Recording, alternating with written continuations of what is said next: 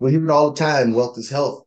So, Alex, today I'm going to ask you is it really worth making a lot of money if you got to compromise your health to do it? I would say in the short term, yes. But long term, no. I think once you have money and you are making money and you have assets, I think health should be more of a priority also in your life. And I mean, it doesn't mean you have to be in the gym four or five hours a day and all that. I'm not talking about wasting time, but taking, you know, watching what you're eating and trying to multitask.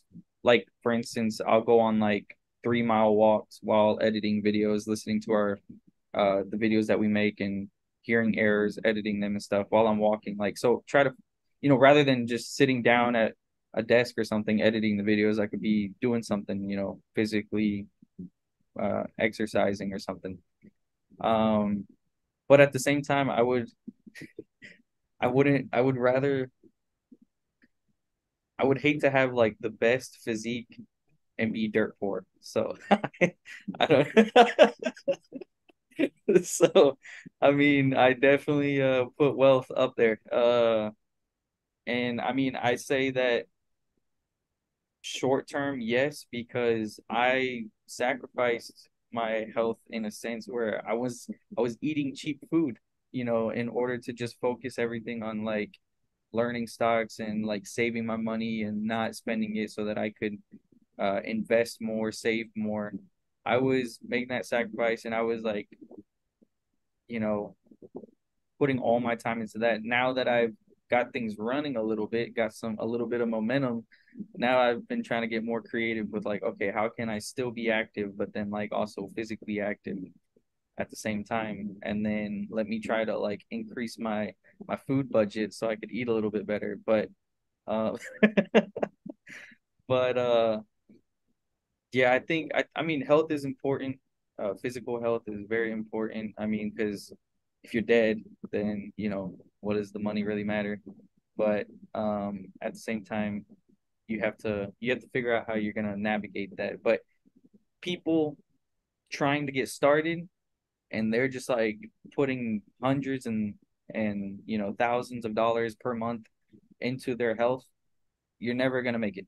I mean, you'll you'll never get to that first step that you need to take to become successful financially unless you have a huge income um, but if you're just starting with the basic income, I don't I don't think it's possible to get get up and going on that on that path. Um, I look at it a different way, of course. Uh, so I, it comes down to a couple things. What are you getting the money for? Um, let's make no mistake. I don't give a damn if you spend a trillion dollars a month or a year on health your end date is coming. That's that's what it is. Your end date is coming. So with that premise, is what do you do it for? Um, I'm just speaking for myself. I'm not speaking for anybody else. Me, I'll sacrifice every ounce of health because I do it for my family. I don't do it for me. The money, one thing I need is uh, you know a Wendy's five dollar five dollar meal deal. Alex know every time you call me, I'm there. That's all I need. I don't I don't care about all that stuff. But the reason why I do it is not for me. I do it for my family. I mean, my my family didn't come from the growing up, we didn't come from the greatest conditions and things like that. So just trying to change the family tree. I know people gonna say, Oh, well, your presence is important. Yeah. Yeah. I mean, go tell that to your great grandfather who nobody go and visit because he didn't leave nobody nothing behind. Y'all call me harsh for what I said, but that's the truth. Everybody got dead family members in the ground. Last time y'all visited them was at the funeral home. Why? Because they ain't had nothing to give. Not give like, oh, they should be given. I mean, they didn't leave nothing behind to make your life better. They have no reverence in the family structure. Me, I'm I strictly, I mean, I did it. I only preach my book. I will not tell somebody to do something I didn't do. I was heavily in debt, not once, not one year, not two year, but I volunteered four years to go in combat zone and fight uh, terrorists and other and other uh, people that was trying to kill me, just to get out of debt. and build wealth. Get out of debt and build wealth. I wasn't building for myself. I wasn't going to buy the Bugattis and the Lamborghinis and all that other stuff.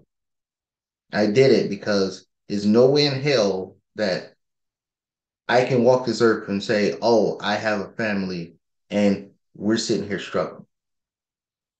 I wasn't letting it happen. So no matter no matter how many times I've been shot at, no matter how many times I've been blown up with IEDs, no matter how many times mortar rounds landed in beds with me, no matter how many times I've got set up by the people that I was working with. I would do it all over again if I had to, just so my family wouldn't have to suffer. And I'm, of course, I'm speaking as a man, and that's just exactly how I look at it. I mean, is it cool to go work out? My wife's a workout nut. She always be saying, "Hey, you need to go run. You need to go do this." I'm like, "Leave me alone, woman. I ain't got time for that. I ain't got time for that. Shoot, we'll be all right. Shoot, I walk to the car and back. That's not exercise." no, but yeah, but on a serious note, it's that's just how I look at it. I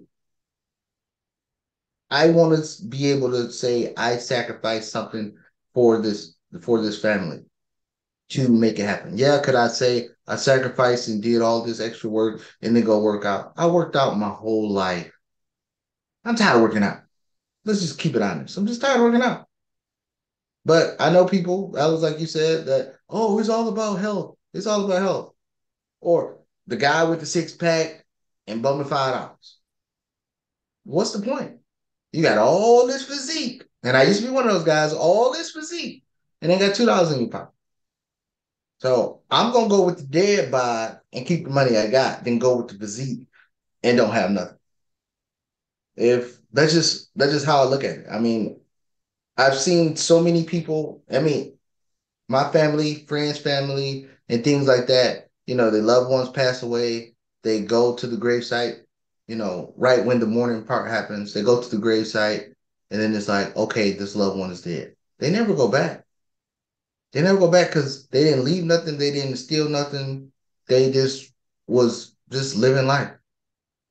And I want to say I left something on this earth.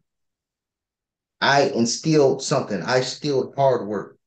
I instilled going after it, going to get it. And if my health is included, for me to instill that, so my family tree will be different from the legacy that it had before, I'm willing to give it all for it. That's coming anyway might as well do something do something that's going to be highly productive before we get to That's just my makes enough sense. Yeah, um, that's an interesting topic. Uh, I hear a lot more people prior prioritize physical health over trying to build wealth, and I mean, truthfully, I just I think the priority should be making money and have you know having the ability to uh, take care of your, yourself and your family. I mean, if you don't have that, then what is health really gonna do? Because I see people in great shape in the like in some pretty hard financial situations, and it's like, what has that all done for you in the end? Like, I would rather have a dad bod, like you said, and then have no stress in the world financially. Because when you don't have financial stress, you can do anything in, in life. You don't you don't have that worry. Right. And uh, right. you make an argument and say that you know having the dad bod helps your mental your mental health. yeah, yeah. I mean, you ain't got to worry about. Oh, I got to get enough protein in today now.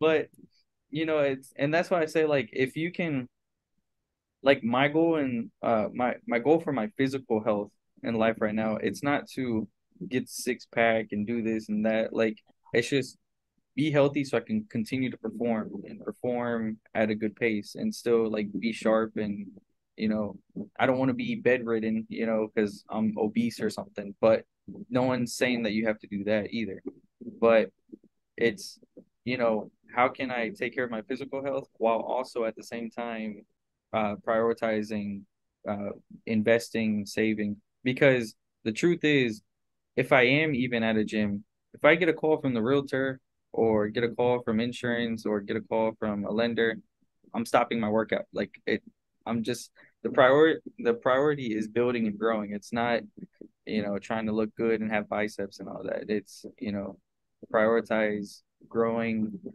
uh I would say your net worth, but growing your cash flow in order to continue to uh, get more and improve in life. I agree with you 100%. All right, with all that being said, please like, subscribe, comment, and tell y'all can tell me how much uh, I don't know about health and all that other stuff. I'm all for the smoke. Uh, but y'all have a good one, and we'll see you in the next video. See you guys.